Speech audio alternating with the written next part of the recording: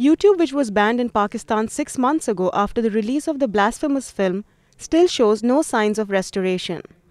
The ban prohibits users from accessing controversial footage involving politicians, which is considered to be one of the reasons for their silence on the issue.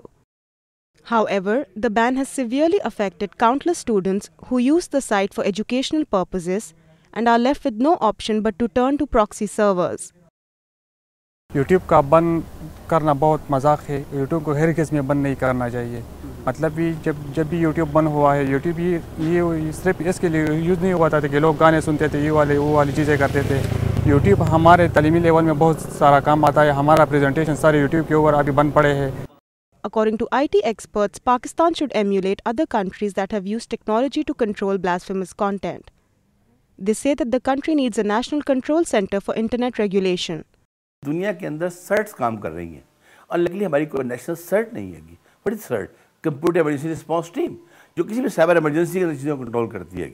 Government की अपनी shirt होती है university की अपनी shirt होती है इधर की अपनी सर्ट होती है हमारे यहाँ सर्ट कल्चर ही नहीं बना हमारे मुल्क के अंदर इस वक्त देर इज़ इमीडिएट नीड कि हम इस मुल्क में सर्ट कल्चर लेकर आए The Pakistan Telecommunication Authority is also raising a voice now to remove the ban. According to the Minister of Information Technology, several other means of regulating blasphemous content are now being considered.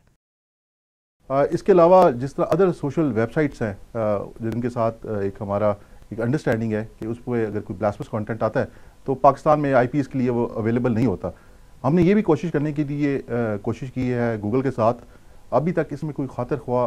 कामयाबी तो नहीं हमें हासिल हुई, लेकिन we still the process हम उनके साथ अभी भी कर रहे हैं और hopefully we are planning and meeting next week the situation highlights the need for clear internet usage guidelines in the country along with an independent body that monitors its usage